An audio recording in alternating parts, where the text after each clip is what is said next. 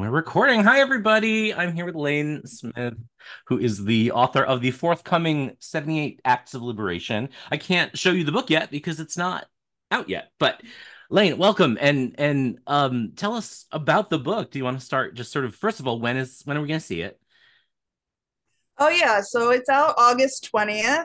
Um, if people want to pre-order it now, it is available anywhere for for pre-order and pre-orders really really help. I think most people know but like pre-orders are what decides whether the book even gets put in stores or even gets reviewed and and all of that kind of stuff. It's like successful books become successful because they already were you know yeah. it's like yep. one of those things it's it's just like there has to be early interest for them to even care about promoting it ever yeah. in any way including algorithms like just uh, algorithms uh, it won't even make it into algorithms if there's not a certain amount of pre-orders all of that stuff you know that we see on social media is all into everything so like yeah pre-orders really really really help for first time authors like me for sure and authors that aren't the same you know cisgender you know obviously i'm white and most authors are white and everything but like you know there's a lot like radical voices that are pushing the edge of things are not always uh, lifted to the top for obvious reasons so yeah. you know people can help with uh, with that by pre-ordering for sure. That's good to know. I think a lot of folks see like pre pre-authors are good for uh, pre-orders are good for authors, but they don't necessarily know why. That's a good that's a good description. That's that's why it sets off a whole chain of things about how the distributor behaves, how the algorithms on the bookstores you know online bookstores behave all of that stuff mm-hmm. so whether it's going to get reviewed by publishers weekly or whatever all that all that stuff yeah yeah very good to know. Very good to know. Yeah. So pre-order this book. I I'm honored to have had a preview of it, and I can tell you that it's it's it's going to be worth it. The the chapter on the history alone, I think, is you know brilliant. And if I ever do another like foundational beginner class, I'm going to require that history chapter. Oh, um, thank you so but, much. I am particularly proud of that chapter, and I do feel like it's worth the price of the book yeah. just for that even if you really don't care about reading cards or whatever that history chapter i put a lot of in-depth and recent research into that stuff that you really haven't probably seen before so. Yeah no i was surprised to be surprised by how much i was surprised by if that makes sense. So i love yeah it. yeah. Yeah that one source that i had that was like um romani in the roma in the ancient islamic world is a very very recent academic text that I shelled out the money for because I just felt like it would be so worth it.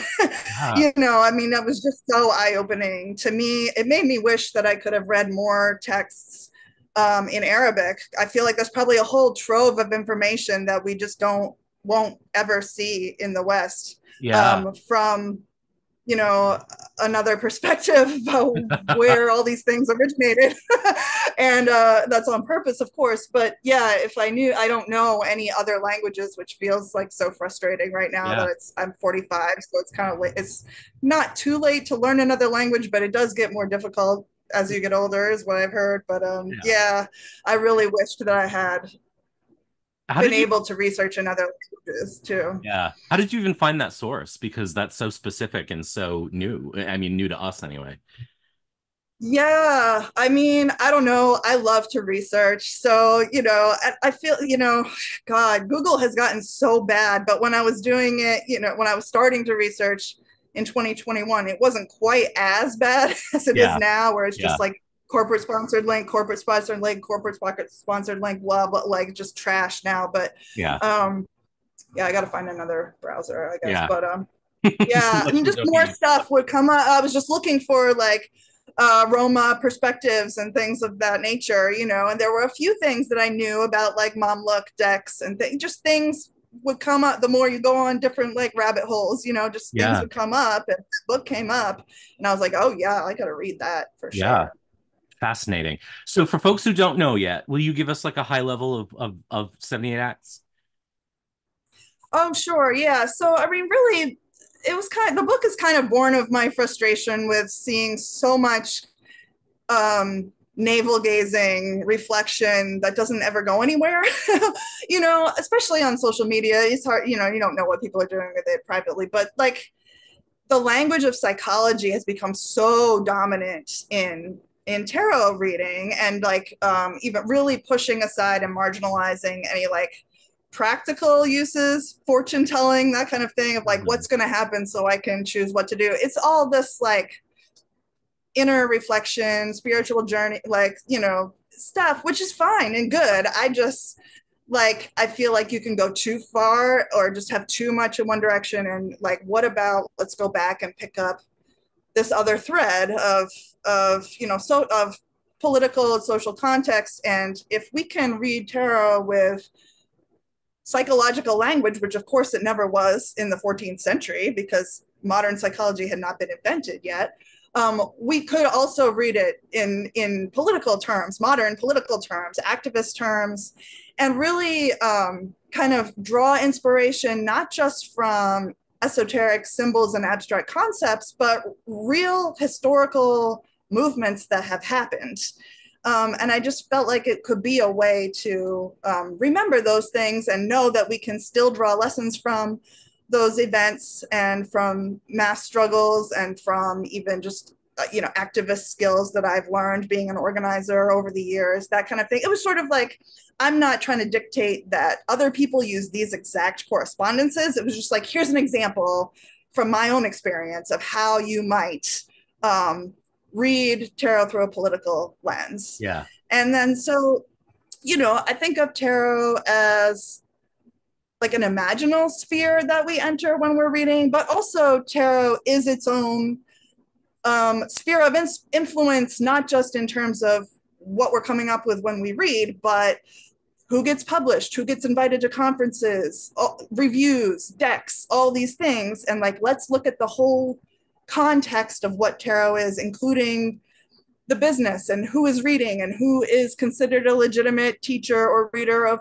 tarot and who isn't, and what are the social reasons for that. And just like putting everything in context because I feel like there are a lot of spiritual people now who want to be more politically active and feel people have told me they feel intimidated by activists like leftist types who are very anti spirituality and i have experienced that too and um you know like yeah just it's, it's sort of just an entry point to be like you can make this your own and yeah. this history belongs to all of us and um, just telling the truth about history is like one starting point. Yeah. Speaking up when a deck is bad or publishers are doing shitty things are like really small things in your own little sphere of influence that you can do and it yeah. makes a difference. Yeah. So it's it's very action oriented and um that is that is sort of like my main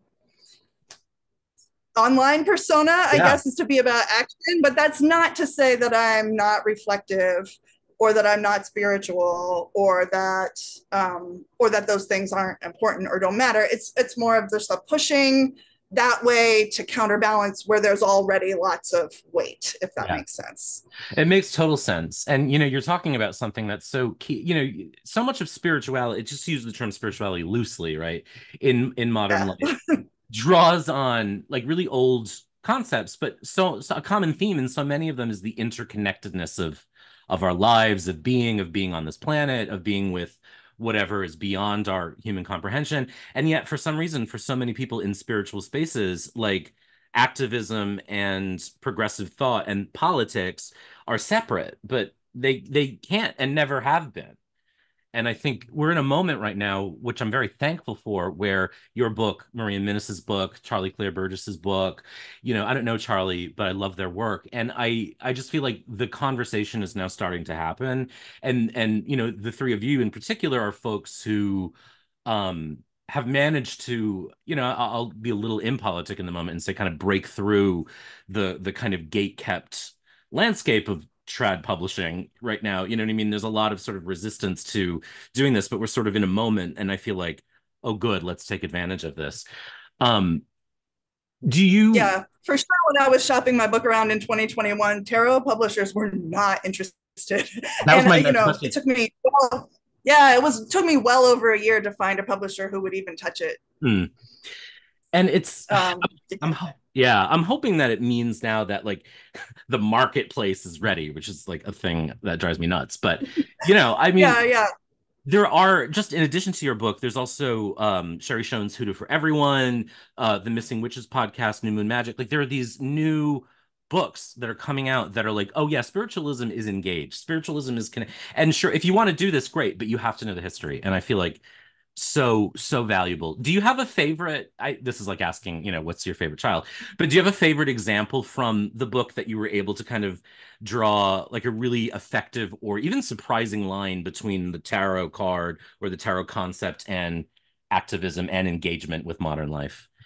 Yeah, before I answer that, I just wanted to you know, I do think the history of tarot is important and also the history of this movement in tarot. You you named a lot of like people who are sort of right now um, and I just want to say this didn't come out of nowhere. It certainly didn't start with me and Maria and Charlie. Like people, there are people who have been doing it. I feel like Rashunda Tramble's Stay yep. Woke Tarot was like part of that. Um, Corina Rosella's Rise Up Good Witch podcast, mm-hmm. even um, Sarah Faith Gottesdiener's Many Moons workbooks um, that were all like collaborative, bringing in a, like a diverse array of tarot readers making it like explicitly political. And these for years and years, Cassandra Snow's queering the tarot, like these have all been part, you know, and decks too, like um, Next World Tarot by Cristy C. Road. And so I, I also mentioned the, the history of those um, people in the book too, because I just feel like it's it's so important to name your lineage and not act like I, I invented this and I, right. it started with me. Or clearly that is not true. Um, and I, I, have a particular lens on it, which is a really zoomed out lens, I think. And some people bring more of like a healer approach to it, like I think Maria does, and um, more of like a, an intimate connection to it. And I tend to be more like history, you know, mm-hmm. zo- zoomed way out. But there's room there's room for all everybody's different. It's not like I don't think anybody should be like I'm the social justice tarot person. Right. Like I certainly don't feel that way about myself, and I don't think anybody should feel that way. Yeah. Um, so I just wanted to highlight that it's like I don't feel ownership over no, it. No, yeah, no, yeah, no. Thank you for pointing that out. And like, I don't think it's just people who are doing it now. Like, it's been building. It's been building. But as far as like my favorite card it's it's tough to say. I like it when things are difficult and like really take digging and working and stuff. So i would first want to like my first reaction was like oh the empress the black panther free breakfast program as the empress. It was the first one i thought of. Yeah. i love it um as i just like i really wanted to, to like push hard against the sort of like white fertile woman in a garden sort of thing and make it you know black men in an urban environment also mm. can bring this nurturing care and have done. We have actual living examples of one that has happened. I love that one and that one was very very easy. Um, i think probably one of the more difficult ones for me was the devil. It's mm. a difficult card to begin with. Um, when I was trying out some of these ideas online, I had the devil as sort of like the sexual revolution more broadly and about sort of the double edge of um, sexual freedom just like in the context of gender inequality and yeah. like the the double edge of like how that um well ended up in a lot of people being sexually assaulted really yeah. um, um and so that was just like a little too broad when i was going through you know because most of the cards are like specific movements mm. so i made it um i made the devil card the me too mm. movement mm-hmm. um, and all the thorny things that have come. I mean, that was like a Pandora's box of issues, cancel culture, and everything that came out of that. So there's like a whole lot there that I still needed to pack into the same amount of space as any yeah. other card, but it's such, such an entangled, um, difficult, complex uh, set of issues there. So I also love what I did there too because it yeah. was complicated. no, I love that. The devil is one of my favorite cards, and I think because of yeah, yeah.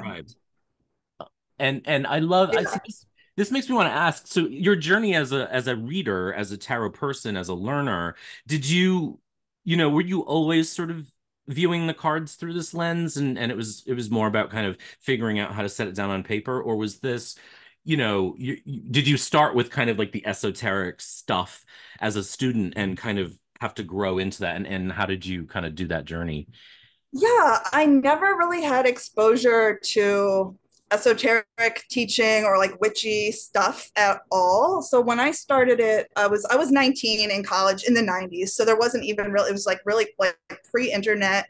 And I just like had a friend who was like um, another Sagittarius besides me who was like, we need to get in the car, drive an hour to where there's a shop where because yeah. I need to get a tarot deck, but I can't buy it for myself. I need you to buy it for me. And if you do that, and I was like, okay, of course, let's go. You know, yes. say less. Let's let's go for it. And um, you know, I was like, whatever, I don't care. I had no particular thoughts about it. I was just like, you said you want to drive somewhere, let's go. So um, you know, they she gave me a deck that was she knew that I had been really, really into Russian literature in high school. So she gave me the Tarot of St. Petersburg um, the Russian Tarot of St. Petersburg, which literally has fucking like Stalin as the devil in this. oh, so and it's so dark. It's so dark, and wow. I, um, so I learned from the little white book with the Russian Tarot of St. Petersburg, just reading for myself, being like a super um chronically suicidally depressed like teenager and and young adults uh, the readings were dark and bad. Mm. you know, I just, yeah, I always use tarot through a very, very personal lens. And I didn't know anything about any of the spiritual context for it, really. It was just me and the cards yeah. talking. yeah. um, so, yeah, really, I guess it was sort of like that therapeutic lens that I had first, which it wasn't really very therapeutic for me for a really long time. And I had to set it aside because it was just, it was just compounding my own shit yeah. to sit there and read it you know just yeah so i you know i set it down for a couple years and then like in my early 20s i picked it up again with a different deck um a little bit lighter yeah. deck and uh, yeah i still you know for the longest time it was always reading about relationships romantic relationships like constantly constantly reading about romantic crushes relationships, whatever, yeah. all the time. Like my my tarot and private life really was very siloed from my political organizing and activism. Very, very like hard compartmentalization. Mm. And I guess just um, not really even until my like late 30s, early 40s, I was like, I don't want to have this compartmentalization anymore. I think really um, seeing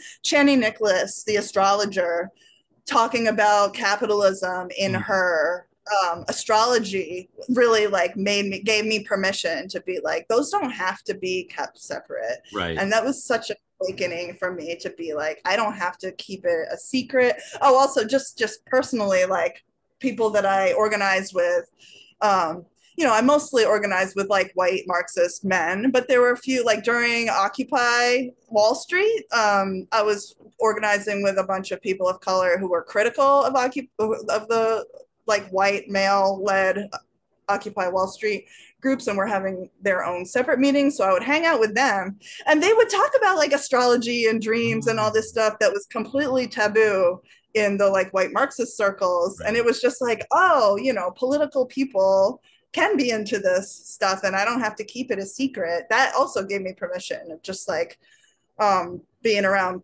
people who are not just like cis white straight men. Yeah, yeah. um, yeah.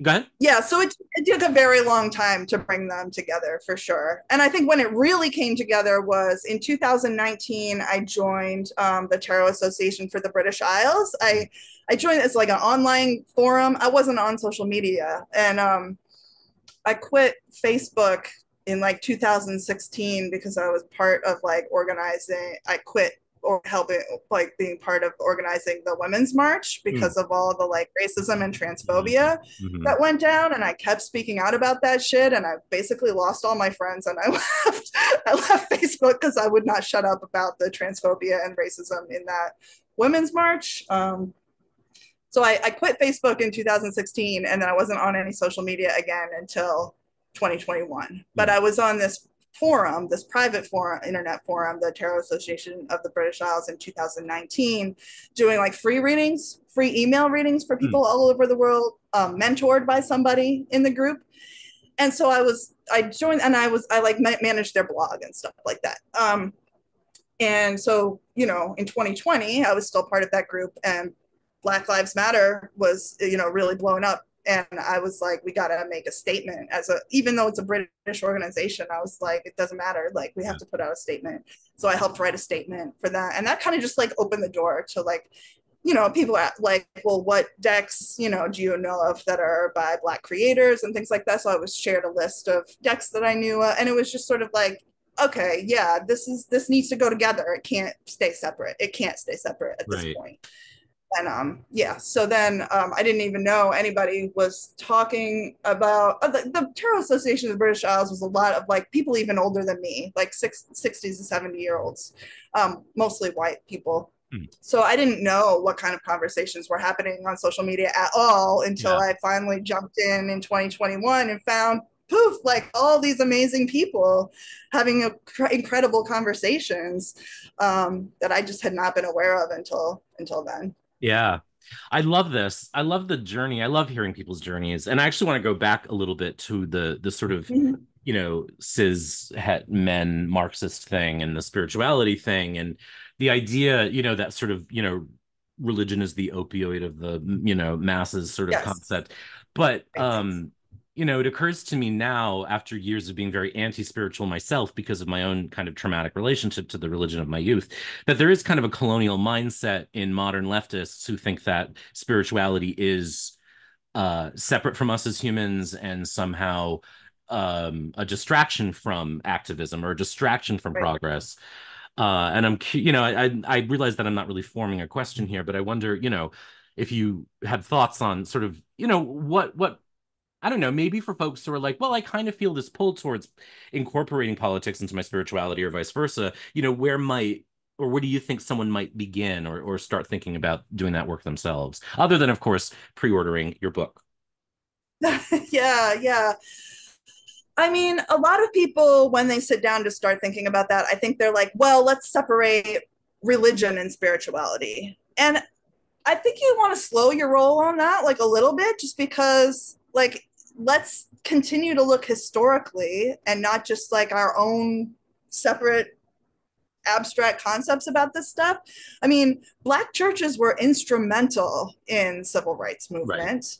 Right. Um, I talk in my book a lot about like the liberation theologies in Latin America. Like, look at like the church isn't one thing, and the like religious institutions aren't only one way and only playing one role. And like, yes, I would like to remove hierarchy from just about everything, but there are like different levels to this, right? Like the hierarchy of a plantation is not the same as the hierarchy within like a black church right. or you know i mean i just it's just to just throw every possible institution out and just be like, well, if it has anything to do with um, organized religion, then it's trash. Well, I mean, I don't know. Like, it doesn't have to be right. and uh, it, it, hasn't always been and like any like there's this i think there's this need for purity that comes from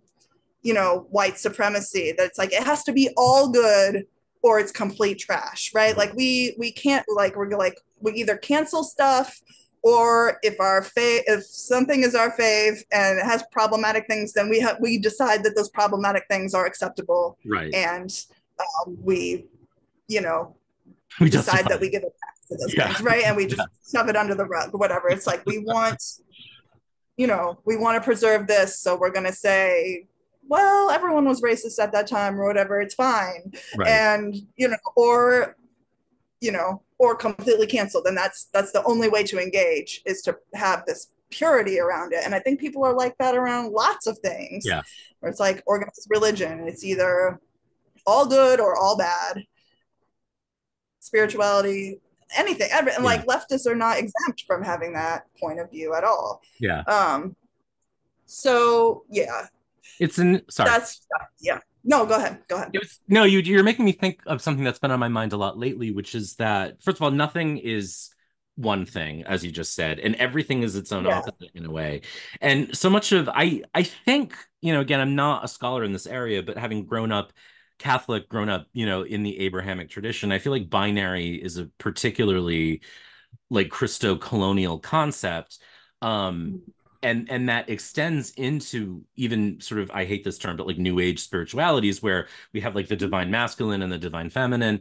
But I feel like the more the more we look at the world closely and thoughtfully, the more we realize that like most binaries are imagined. You know what I mean? Um, and so, you know, in order to in order to have science, you need spirituality, right? Or you need to have science to have spiritual like everything is sort of connected in that in that way. And I think um one reason why uh these conversations are so helpful in the world is because I think um, chipping away at the either or is really valuable. And another thing I feel like divination does well.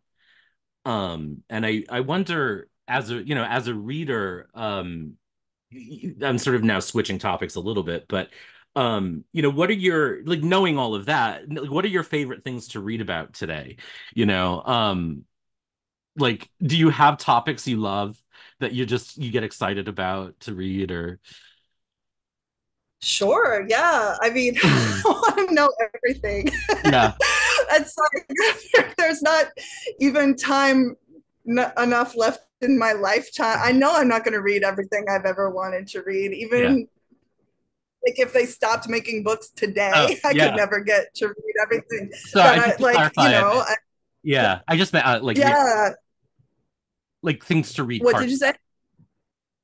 Oh, yes, yes. I'm still like, God, I'm an embarrassingly romantic person. I, I read about that kind of stuff at all. People, yeah, people wouldn't probably think that about me, but I.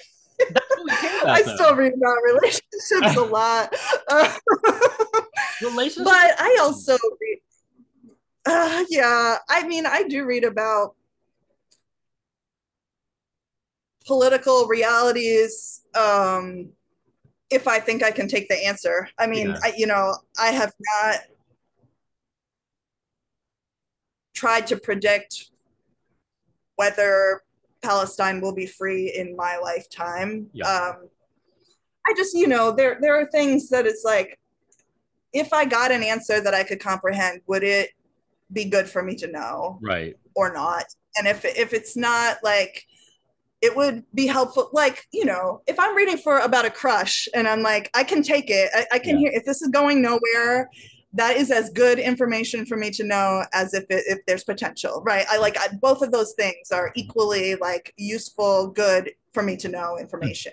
But um, that is not necessarily the same for some other thing. Like, right. am I like uh, sometimes am I tempted to ask whether my children will live to see adulthood because I, like the oceans are fucking boiling as right. we speak. Yeah. Um, it's not gonna be like there's not the the possible answers to that don't have equal value, right? Yeah. Like I can't if I if the answer is fucking no, like what am I to do with that, right? I, and um, it's it's not the same. It's not the same as the crush question. Yeah. So it's just yeah, it, I have to like I think I've gotten better at asking good questions and asking questions that I can receive the answer to and knowing when it's a question that I can't receive yeah. the answer to. Yeah, it's so helpful to know, you know, what's just because you can, should you? You know, that's one thing. I, I always say, yeah. you know, read about whatever you want, but just because you can read about something, should you?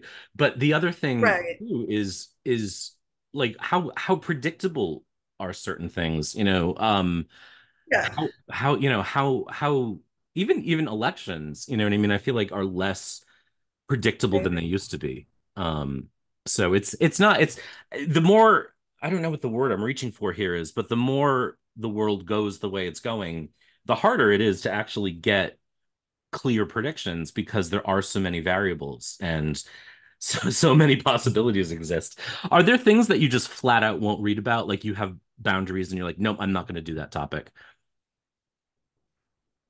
um,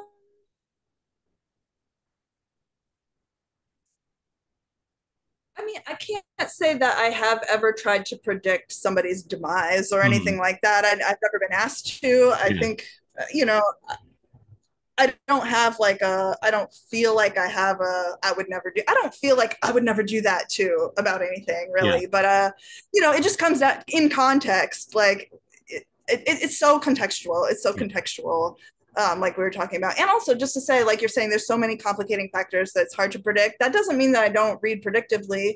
I do read pred- predictively, but I think I feel less attached to being right. Mm-hmm. Um, I feel I feel less attached to like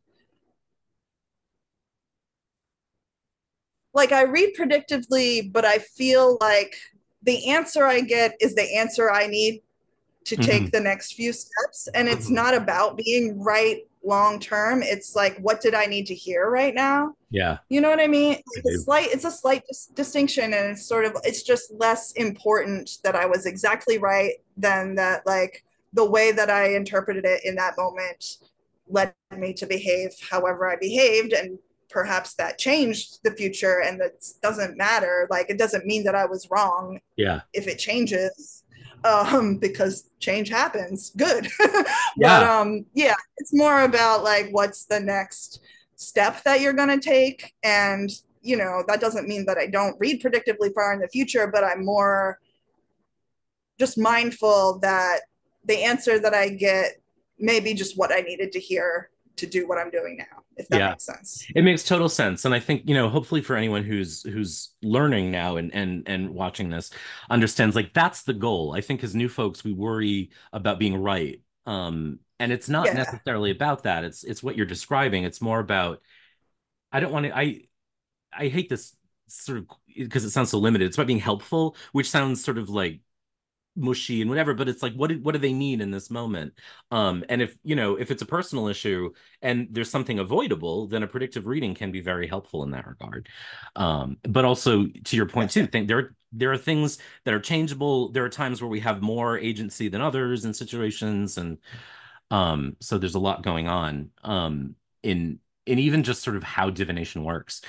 Um speaking of a lot going on um what do you have going on right now any projects that you want to share or anything that you have coming oh, up? well at the you know it's pride time yep. and so right now i'm doing a tarot challenge um, on my instagram page my handle is at left lane smith and it's uh it's not your typical card a day challenge i made it so that it would actually be challenging including yeah. for me and I've had people tell me like, "Oh, this is actually really challenging," and I was like, "It was intended to be." Um, what's challenging about it is that it's it's um, it's it's two card pulls and an accountability post per mm. week. So there's a reflection pull, an action pull, and then you have to do the thing. And you know, if you didn't do it, own up to it you know it's like the third one is not a pull the third thing is like did you do it or did you not do it? Because i feel like i don't know. I just i've read i've seen so many people's readings online in tarot challenges and just every day like this is what i understood from the cards. And i'm like okay. But if i'm like following a particular person i'm like i don't know if you're listening to your mm. readings. Like i don't know if you're acting on your readings. Like you're reflecting on these same recurring issues I noticed that. I tend to notice big picture stuff and I pen patterns and things. And I'm like, I don't know that everyone has a lot of practice doing what tarot guides them to do. It's yeah. like this recursive, like, uh, my action is to reflect on this, my action is to reflect on that. And like, there are other actions to take besides reflecting like that should lead to different behavior ideally yeah. or some you know doing something um like i feel like i'm always harping on that but that's you know like one of the epigraphs in the front of my book is george jackson being like we have to prove our predictions about the future with action uh, right i really take that seriously and so i was like for this challenge you're gonna fucking show that you can read the cards and do what they say. Right? So that's what I've been doing. And yes, it is hard. It is hard to um, have the, card like, I think a lot of people are very accustomed to reading interpretations that are very abstract and general and not um, concrete things to do. Yeah. But I do think the cards can tell you concrete things to do. Yeah. And so I'm like, let me demonstrate at least. If no one else does this challenge, I will be like, look, you know, um, I, I think it can work that way and I will do it. So Um, it's been going good so far. For me, I know um, Charlie Claire Burgess just sent out in their most recent newsletter that they were going to join in this coming week. I know Cassandra Snow has been doing it too, and um, so it's really fun. It's fun to like have other people involved. The more, the merrier. Like I certainly don't care if people join in late. If you do just the last week or whatever, it's it's challenging just to do one week of a reflection action and did you do it like it's i think it's a good exercise and it's all like the theme of it is no pride in genocide so it's it's real the reflection questions are really like you know getting into like how we're affected by queer washing uh, pink washing mm-hmm. and you know just like getting into some of these um, issues about how queerness has been conflated with you know affluent white culture and yeah. anyone else is like doesn't have as much of a say in what queerness is and right. their anomalies and their issues are you know not queer issues they're their other identities or whatever and so like let's let's let's get into that and, and take that apart a bit so yeah. that's that's what the challenge is about um yeah, I recently had, I mean, I'm still accepting donations if people want to donate. I did like a little ebook called Tarot Together, which is just a bunch mm. of like little fun games to do um, in groups of three or more, like tarot mm. things to do in groups instead of just like reader client. Um, yeah. And and I did that as a fundraiser for a family, um, these twin brothers who are trying to evacuate Gaza. Mm. Um, I still, it's still like a pay what you want, literally a dollar. I've had people pay a hundred dollars. I've had people pay two dollars, whatever, like literally whatever. Um, you donate it, I'll send you the ebook, and then I donate it all to the to the family in Gaza um, that's what I have going on right now. I have, you know, machinations in my mind for future writings and things, but uh, I don't know that I'm ready to share much detail about that. But um, yeah, yeah you can't share things uh, before they're ready. The, yeah, yeah. So yeah, the book, you know, the book is out in two months. So I'm supposed to be in like the marketing phase right now, which is super uncomfortable for me. I'm a, you know, I don't, you're into astrology, right? Like I'm a big 12th houser. Like all my personal planets almost are in the 12th house. I'm a very like, do not perceive me. Let me be behind the scenes. So to like be like, buy my book is so, so uncomfortable. mm.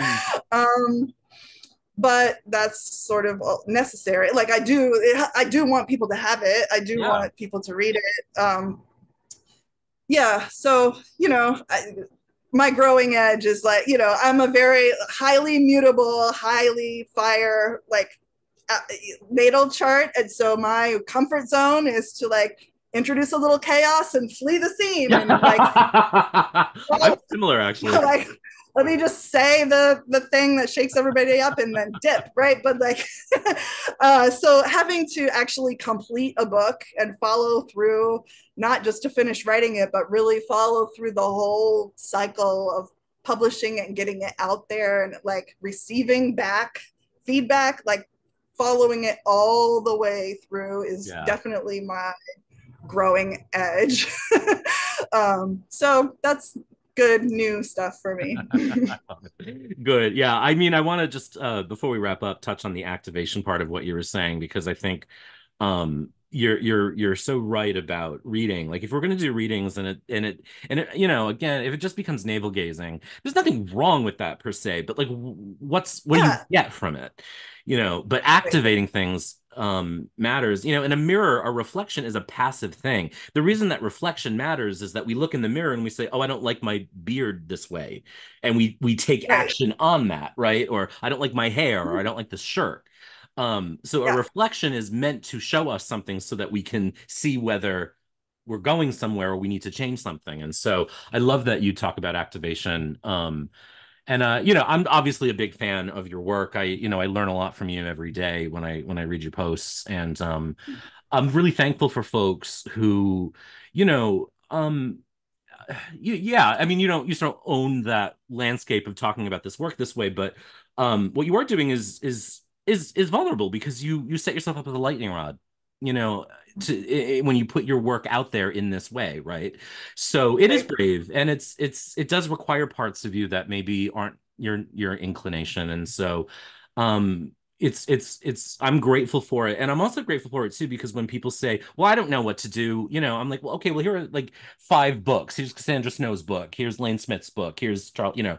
So yeah the, the things are out there. So you know um it's it's a vulnerable thing you're a human being and and and and and being able to and willing to talk about difficult issues in a public way uh, isn't easy, especially if you are somewhat introverted or you're sensitive in any way, because it's hard not to take mm-hmm. the critique personally. You know, when someone comes along and calls you an anti-Semite and you say, well, no, but you know, maybe let's talk about that. They don't want to hear that. So it's it's right, right, it, right. it's still impact you know the what is it the the body remembers right? It's the impact still hits. Yeah yeah. I think people probably see me as a less sensitive person in general and i think in some ways i am. Um i mean i think i I'm not your typical like I'm an empath kind of person. Um, it doesn't mean that I don't have sensitivities, but um, I, I do have um, good boundaries from a lifetime of needing to have had them. Mm. and um, you know, and it's talking about Palestine in particular, since you brought up anti-Semitism, that's something I've had practice at for more than 20 years because mm-hmm. I first learned what a lot of people learned the past several months 20 years ago. And right. you know, I've had had practice at it in a much less tense right. um, setting. You know, I was able to practice when it wasn't such high stakes. Yeah. Um, so just to say, it's not like something special about me that I'm able to just ignore the criticism or whatever. It's partly, you know, knowledge and practice that I've had for a very, very, very long time. And I don't have that when it comes to um, Sudan and DR Congo. I mean, I'm like, I don't hesitate to say free Sudan and free right. DR Congo, and there isn't the same, like, people aren't going to jump at you and call you names um, when you say free Sudan and free DR Congo um, it's a different issue there where the anti-blackness just makes it like people are like, oh, just tack it on, don't you right. know, don't pay attention. Um, but people aren't going to like attack you back in the yeah. same way as if you say free Palestine. And uh, yeah, so I just wanted I just want to say that that it's like it's experience, knowledge, and I, I appreciate you saying that you've learned from me. I learned from you too, and I have admired you for so long. I think you're such a fantastic, fantastic teacher and it has been so gratifying to see you learn and change because you know I, like there are people that i have admired that i have felt really disappointed by in the past several months because they're not open to um, learning and changing and i have i have seen you know the progression of like of, of like you know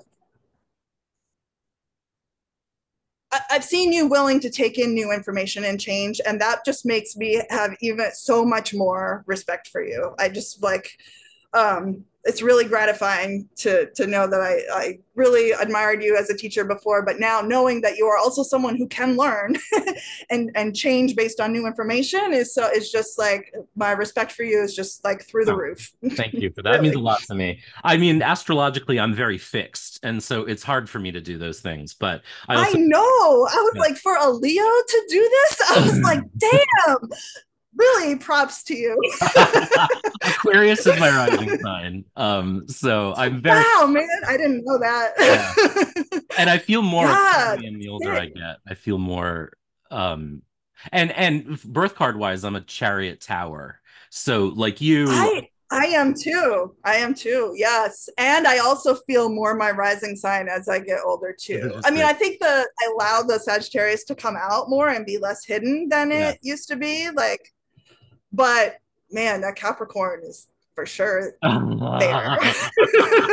and Capricorn rising, like, yeah, I mean business. Yeah, yeah. Stuff.